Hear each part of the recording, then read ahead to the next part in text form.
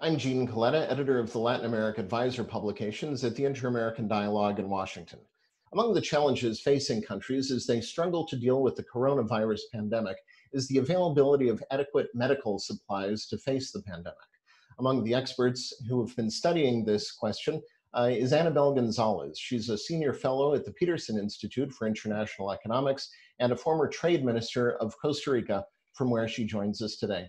Thanks for joining us, Anabel. And let me begin by asking Do Latin America and the Caribbean countries in that region, do they have enough medical supplies to meet their needs? And how do you see that in terms of the availability of supply to do what needs to be done to face the pandemic? Well, hi, Gene, and thank you very much uh, for having me. Uh, let me start by saying that uh, at times, uh, at times like this, in such a, a, health crisis, there is no one country that has enough medical supplies, medical gear, medical product uh, to fight the pandemic. Uh, this is why trade plays such a critical role uh, in moving uh, this equipment from where it is produced to where it is needed. Uh, and this is why uh, there are a number of trade policy measures that governments should take to make sure that they can have access to this medical gear and they can have access uh, at affordable uh, prices and in a timely manner. All right, and when you look at the uh, trade policies that exist in Latin America and the Caribbean, and you look at the trade policies in the countries that provide equipment to countries in that region, uh, how do you see it? Are trade policies adequate, or are there problems that exist that need to be fixed? Well, let me say that I believe that there are a number of measures that can be taken, and some of them are being uh, taken. For example, uh, countries can lower their import tariffs on uh, this basic medical equipment, medical gear. And when you look, for instance, at uh, pharmaceuticals and other products, uh, tariffs are relatively low in the region. But then you go and look at soap, for example, which is, of course, the first line of defense against the virus. And we see that a number of countries have high tariffs on, on soap uh, of uh, up to 15%.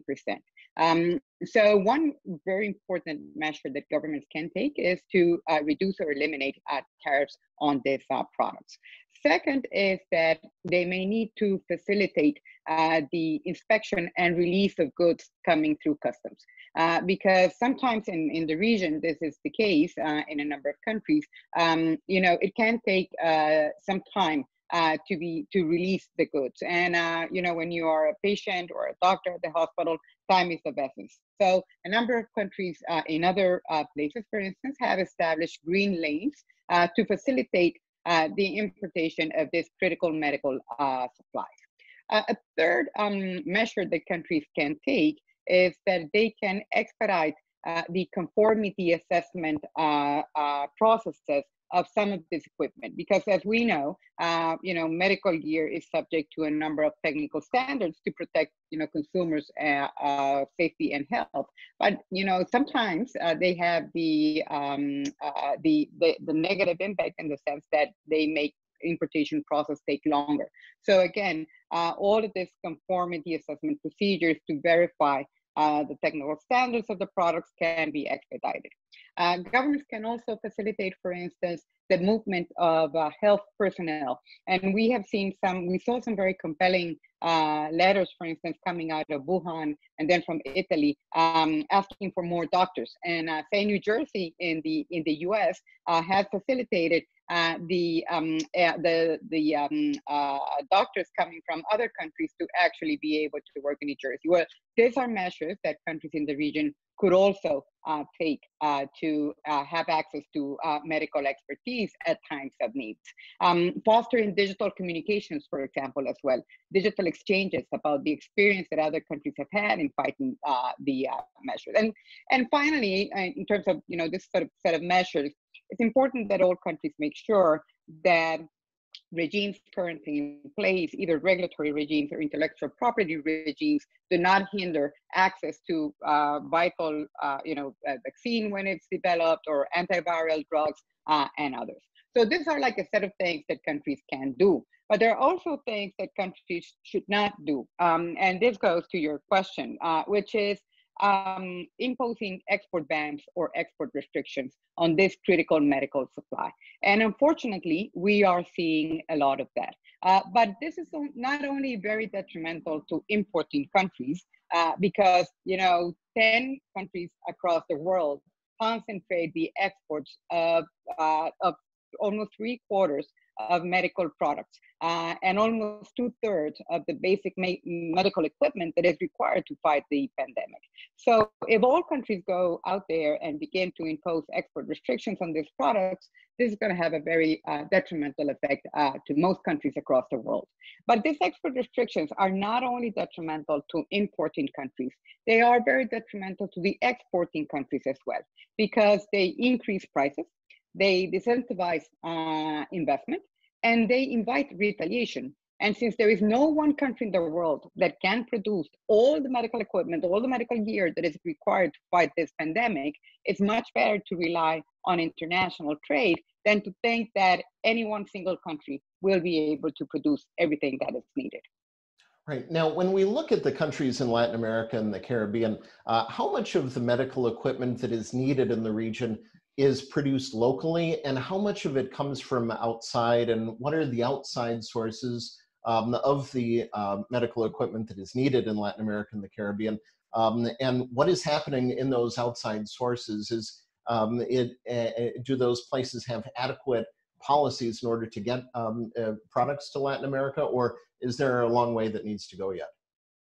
Well, it depends very much on uh, on the product, but there are some very interesting things already happening in the region. For instance, uh, we saw that, uh, for instance, uh, Hanesbrands, the company that produces T-shirts and underwear in a number of countries in the region, has retrofitted some of its facilities in uh, Honduras, the Dominican Republic, and El Salvador uh, to produce cotton masks uh, for uh, for for fighting the virus. And part of that production uh, will go uh, to the U.S., will go to global markets, but a part of the production will also stay uh, in those countries.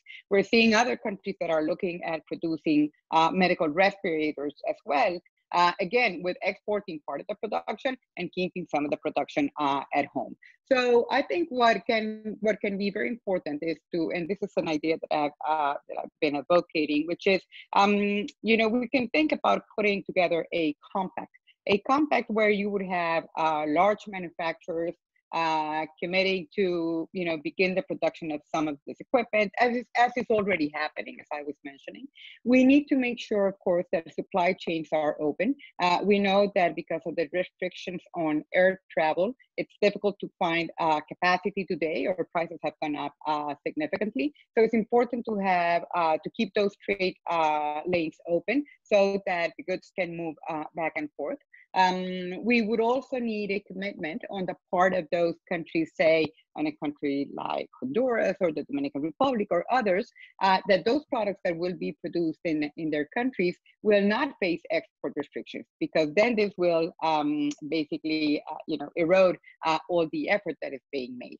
But you also need, uh, you know, the right type of policies on the part of those uh, um, sort of advanced economies, if you wish. Uh, one of them, for example, is that you, you, you know, countries should avoid um, localization policies or policies requiring that all products be manufactured in their own countries, because then they would not be able to be part of this uh, initiative to increase the supply of medical gear.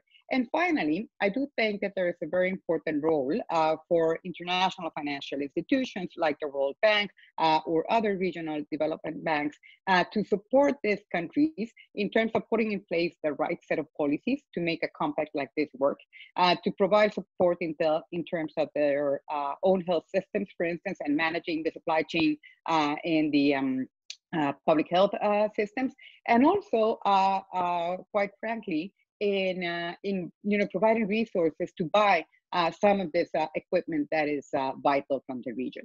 I think the fact that you know the virus is coming a little bit later uh, to the region as compared uh, to other parts of the world provides a bit of opportunity to learn from the things that have been done you know right and the things that have been done wrong in other parts of the world and apply them and bring them to the region. All right, I'm, I'm glad you brought up the multilateral organizations. I wanted uh, to see if you could elaborate that, on that a little bit. Uh, you mentioned the World Bank and other multilateral organizations. How would you assess what those organizations are doing right now? And uh, what more perhaps should they be doing in order to make sure that medical supply chains to Latin America and the Caribbean stay intact and that those countries are getting the supplies that they need? Well, I think that uh, the international organizations are moving very rapidly to support the region in many different ways. Uh, and certainly uh, on the part that relates to, you know, putting in place the right set of policies or providing the financial aid that is required, uh, I think that they are doing a very important job. Uh, one important organization is, of course, the World Trade Organization. And I think that uh, although the World Trade Organization has faced some challenges recently, uh, it is uh, an excellent forum uh, to try to promote global cooperation uh, to be able to combat the virus. And so we were talking before about, for instance, the importance of eliminating tariffs at the country level, where countries could also come together uh, and bound those uh, reduced tariffs uh, in the context of the WTO to provide the certainty that is required to increase production or countries may come to the WTO as well uh, to negotiate, uh, you know, very strict conditions for the adoption of those export restrictions that we were mentioning before that are so detrimental uh, to countries in the region and across the world. So there are, you know, the financial institutions I think are doing a, a great effort uh, to try to support countries in the region. Uh, more is required, but I wouldn't say it's that much from the organization but rather from member governments that need to come together and prioritize global cooperation to fight a global uh, threat as the COVID 19. Thank you so much for uh, joining us. Uh, you've uh, shed a lot of light on this uh, subject for us, uh, and I appreciate your time. Thank you very much, Gene. I appreciate it myself. Anabel Gonzalez, Senior Fellow at the Peterson Institute of International Economics and former Trade Minister of Costa Rica uh, joining us on the topic of medical supply chains in Latin America and the Caribbean. I'm Gene Kuleta, editor of the Latin America Advisor newsletters at the Inter American Dialogue in Washington.